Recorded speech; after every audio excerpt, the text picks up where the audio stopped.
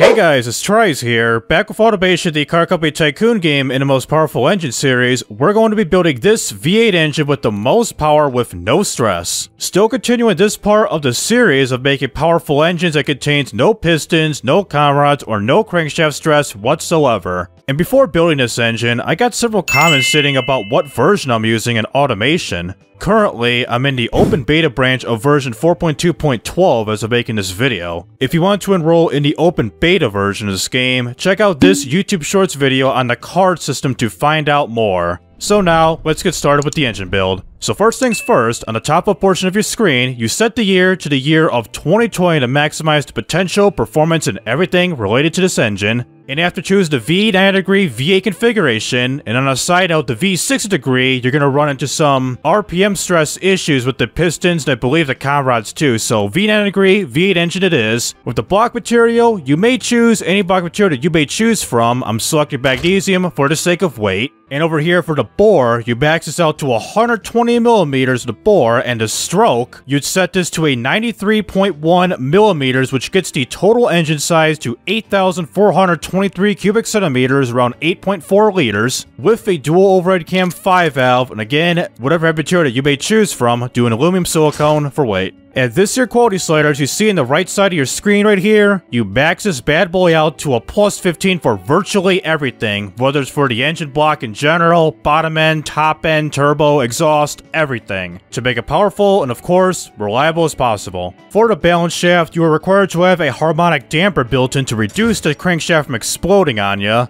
and for the rest the internals, such as the crankshaft, billet steel crankshaft, with the conrod set to lightweight titanium and the piston set to a regular forged. For the compression, it's pretty much straightforward like my previous build, so set it to an extreme level all the way up to a 15.0 to 1 ratio, with the cam profile set nearly to a full-blown racing setting of a 92, and the springs and lifters stiffen quite a bit to a 68. And of course, like always, VVT at all cams. For the turbocharger, we're going to be using a twin turbo setup with a smart boost system, with the intercooler set to 12,100 horsepower. And this should automatically select this for you for the aspiration details, so it's going to be a variable geometry setup with ball bearings. And the compressor size here, you max this out to 120 millimeters. The turbine set to 118 millimeters. The compressor and AR trim max this out to 100, and the maximum boost set to a fairly high 42.1 psi. For the fuel system, it's just like my previous build, the V16, so it's going to be a direct injection throttle persona configuration with a performance high intake, running on the fairly recent DevBev fuel, with the fuel mixture maxed out to a 10.0 at a rich setting, the ditch timing set all the way up to an advanced setting of 100, and the max RPM limit set to an 8500 RPM.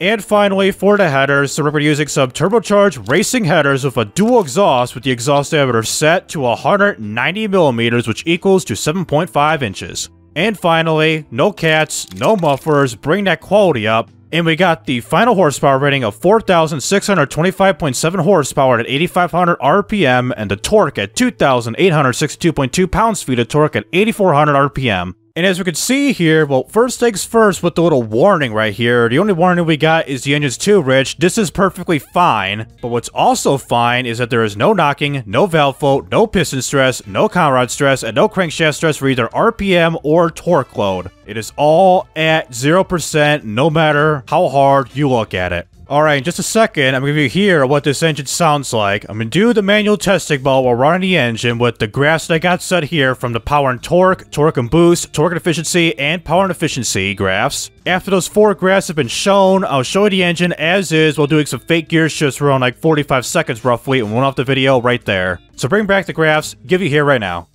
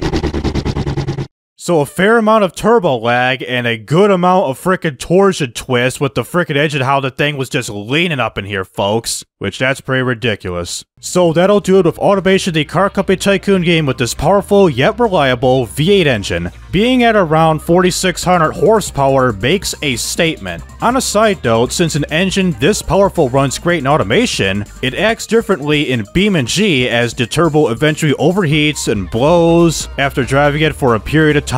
That's a warning for this type of engine and any engines that I've made in the past, or making any powerful engine in the game. And for those who are interested in this type of content, please be sure to like and subscribe so you won't miss out on any videos like this in the future, including my automation to BeamNG Drive videos too. So this is TRIZE Rising Up, and signing out.